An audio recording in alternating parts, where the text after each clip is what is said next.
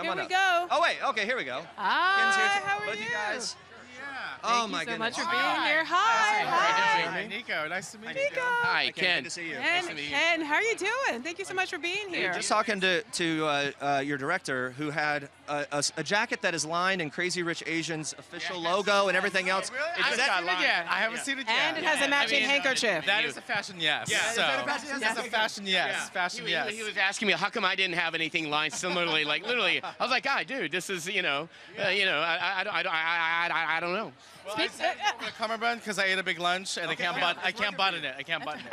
Well, speaking of yes, people, a lot of people said yes to this film. It was wildly embraced. What's it feel like to have a film just be that so universally loved and well received?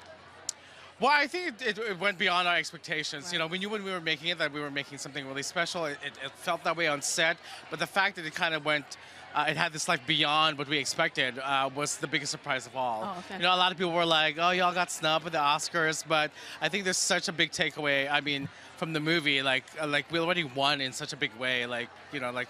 Yeah. The in Oscars. terms of how it's moving the needle with inclusion and everything else. Yeah, that's a real big win uh, uh, uh, from the movie. So. And quickly, uh, before we got we got to go, but before we do, you guys have been doing the award stuff. I- Is there someone that you, another nominee that you become best friends with throughout this ex- this experience that maybe you didn't know as well before? People are uh, dying to know you. Well, I mean, you know, I, I- I've seen old friends, you know, f- from this, and I, I've been running to Bradley Cooper everywhere, and so, so you know, just talk, just talking to him, and, and kind of running into him frequently, it's just, it just kind of triggers old wonderful memories, and I'm just so happy for him, you know, yeah. Thank you guys so much. We're we're out of time. We're going to throw it down to JD and Andrea.